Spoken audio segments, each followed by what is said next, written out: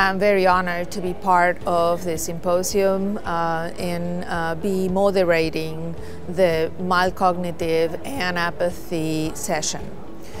So the question is, what is mild cognitive impairment? Mild cognitive impairment is a disturbance of cognition that is not affecting the functioning of the person, but it is a lower functioning than what the person used to have. That is, um, if a person was uh, uh, working and was able to multitask and was able to do many things at the same time, could uh, plan. Now, these functions are more impaired. That's particularly what we call executive dysfunction.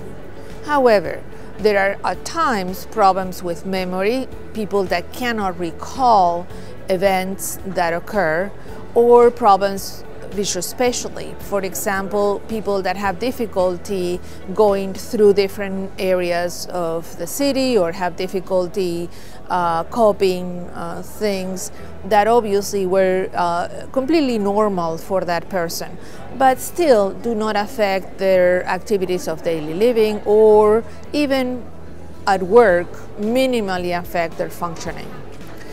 It is an important uh, period of, uh, it is an important diagnosis because uh, mild cognitive impairment could be a transition to dementia. It is uh, known that dementia occurs in five times more frequent in Parkinson's disease than in the general population. Uh, mild cognitive impairment occur uh, approximately in 30 to 40 percent of the patients with Parkinson's disease, and we can even diagnose it early in the course of the illness.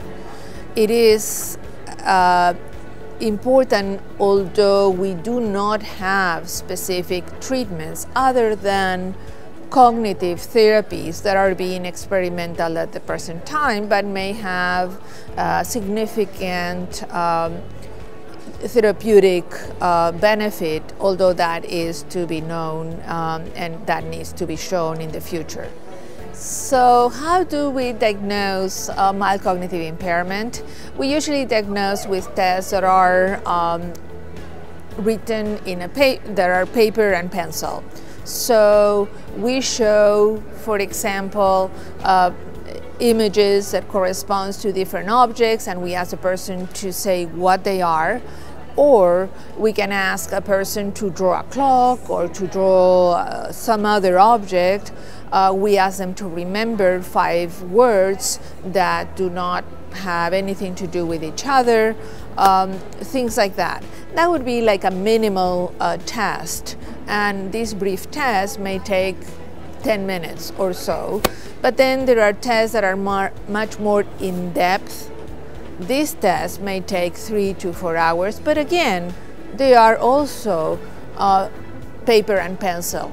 And this uh, is extremely important to get this diagnosis because the person needs to know what are their limitations so they can function better and can tr try to improve in any of the deficits that are identified. It's not something to be unhappy about, it is something, another challenge that someone has and needs to overcome.